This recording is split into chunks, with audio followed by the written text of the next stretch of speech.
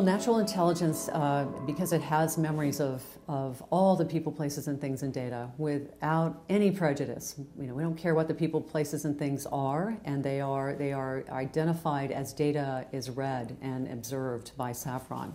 So, uh, so you don't have to pre-identify them. You don't have to even have anticipated what the people, places, and things are going to be in the data. Um, the cool thing about that is it provides a tremendous degree of accuracy.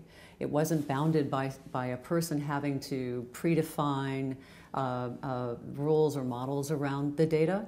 Uh, the data is naturally flowing in, memories are captured, all the connections of those people, places, and things are also captured in the memory and the frequency therein. And so when we, when we query the memory base, um, we, we generally, and I, and I use, I use Saffron in, in my day-to-day work, um, so I'm an end user of our technology too. The cool thing is I have no idea what it's going to provide back to me. I, I don't anticipate the answer, but, but as one customer says, I get to find without looking because it provides back real answers based in context of a question um, and, and retrieves that from our memory just like we do as humans. So if I asked you a question, what did you have for dinner last night? Um, you immediately begin to think about where you had dinner, who was with you at dinner, uh, what you ate, maybe what the people around you ate. Were you with your family? Were you with friends?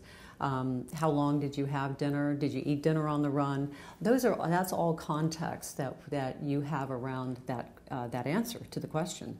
And Saffron maintains and, and is able to capture that same kind of context. So not only do we do we know that you had dinner last night? We know who you had dinner with, what you had for dinner, when you had dinner, where you had dinner, et cetera. All of that's important context. And when we apply that to a business situation, let's say we're talking about um, uh, uh, competing on an opportunity, a new opportunity um, uh, with a particular customer, uh, what, what, we're going to want, what we want to know is, you know, have we done this before? Who have we competed with to win? How did we win? Uh, who won?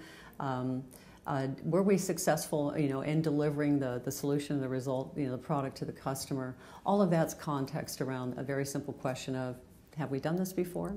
And, and, and a high degree of accuracy and precision is brought back to you to give you very, very focused insight into uh, the answer of the question you're looking for.